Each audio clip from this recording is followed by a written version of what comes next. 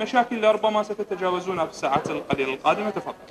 آه، هي ثلاث مشاكل. آه، رئيسية مشكلة العجز ودولة رئيس الوزراء أبدى مرونة كافية ل يعني دراسة كل الأرقام وما نجده فيه مبالغ فيه. سنذهب إلى تخفيضه.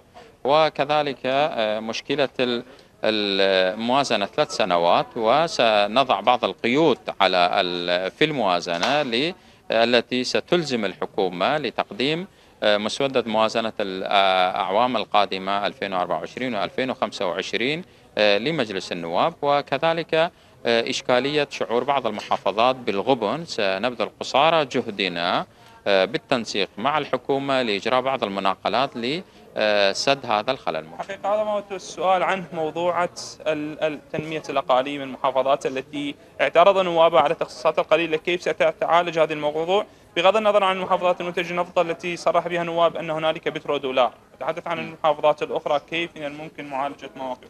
يعني يوم أمس مع دولة رئيس الوزراء طلبنا أن يكون هناك زيادة لتخصيصات تنمية الأقاليم. ومن خلال هذه الزيادة نستطيع أن نعوض الخلل الذي حصل أو الغبن الذي يشعر به أبناء تلك المحافظات. يعني راح يصير مناقلات من جهة مناقلات ومن جهة طلبنا زيادة تنمية الأقاليم أيضا. متى سترجحون آه، إمضاء الموازنة أو التصويت على الموازنة؟ وهل فعلا ستعقد جلسة اليوم أم ستؤجل؟ يعني باعتقادي ليس هناك أي مبرر لعدم انعقاد هذه الجلسة لأنها آه، آه، جلسة مخصصة للموازنة والكل ينتظر الموازنة وليست هناك جهة معنية تريد أن تستهدف هذه الموازنة. فالمفروض أن تنعقد. باعتقادي نحتاج إلى 20 إلى 30 يوم.